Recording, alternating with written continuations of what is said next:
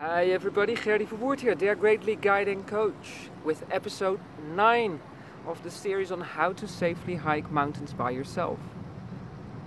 So this is a series for everybody who wants to hike mountains, but especially for those people who want to immerse themselves in nature so they can leave stress behind and start hearing themselves think again and start to relax.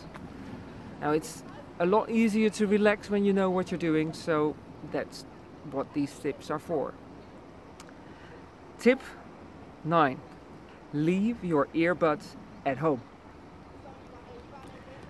Now, why would you ask? Because uh, maybe uh, it relaxes you to, to listen to music or to uh, listen to podcasts or an audiobook. But you are going into nature to immerse yourself in it.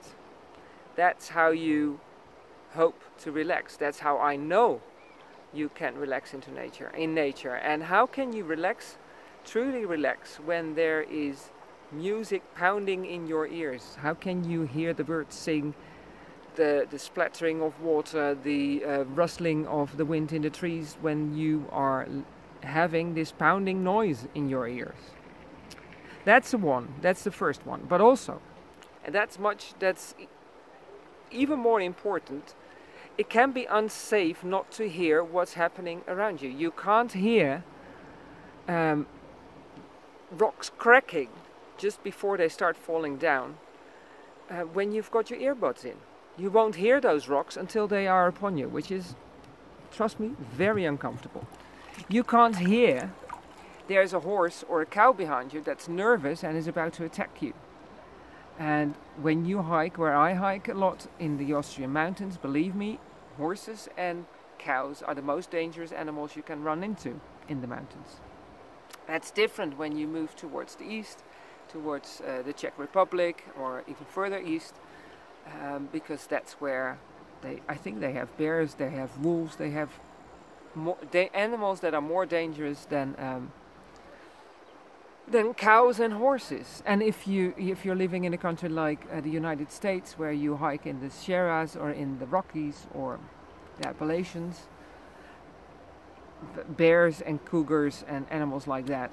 Um, I wouldn't say galore, but lots of them, and you have to be very aware of those animals. So, hiking with your earbuds in could make it more dangerous than is necessary. But most importantly, perhaps, or as important is the fact that you won't be able excuse me won't be able to truly immerse yourself in nature and take in every aspect of nature not just what you see not just what you smell but also what you can hear when you are in nature.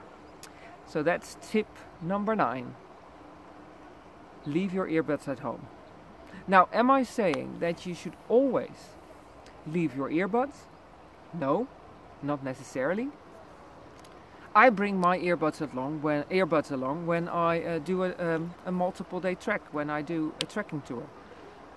Not because I want to listen to something as I am hiking, because I don't like doing that, but because when I sleep in cabins, I may want to read a book and I am too lazy to carry a book around. So what I do is I put an audiobook on my phone because I'm I have my phone with me anyways.